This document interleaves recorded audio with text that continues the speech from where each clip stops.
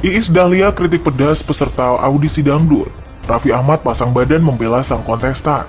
Diketahui Iis Dahlia tengah menjadi juri untuk program acara televisi kompetisi dangdut yang ditayangkan di Indonesia.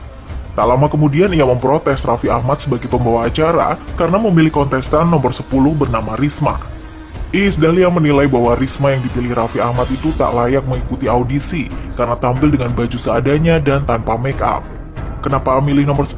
Lo milih yang kayak begitu, lihat bajunya, banyak yang lebih bagus. Kenapa milih yang ini? Gak niat, kata Isdalia dikutip dari akun gosip pada Selasa 9 Agustus. Tak hanya Isdalia, juri lain juga memprotes penampilan peserta tersebut.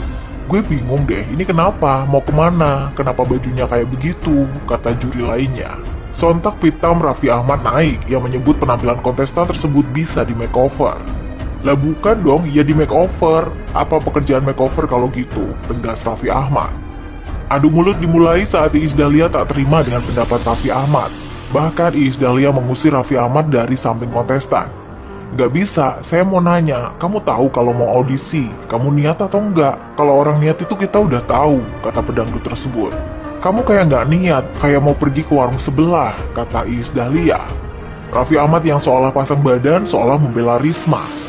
Sebentar, gue pasti belain dia. Kita nggak tahu alasan dia apa. Maaf ya, mungkin faktor ekonomi. Kenapa sih buat dia drop? Kata Sultan Andara itu. Raffi menilai juri sangat tidak komparatif soal kritikan juri. Ia mengatakan yang dibutuhkan adalah suara. Kan yang penting suaranya, penampilan nomor sekian, tegas Raffi Ahmad. Saat dikonfirmasi mengapa kontestan bernama Risma tak dandan dan memakai baju seadanya, Aku tadi mau ke sini naik bis, terus aku ketiduran jadi tasnya ketinggalan, kata Risma. Iis Dahlia berasumsi jika Risma teledor dalam meletakkan barang.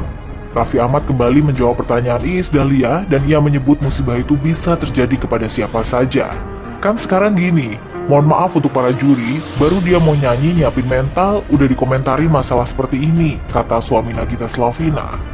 Kontestan asal Papua ini terus dicecar oleh para juri soal penampilan. Para juri seolah tidak mau menerima alasan.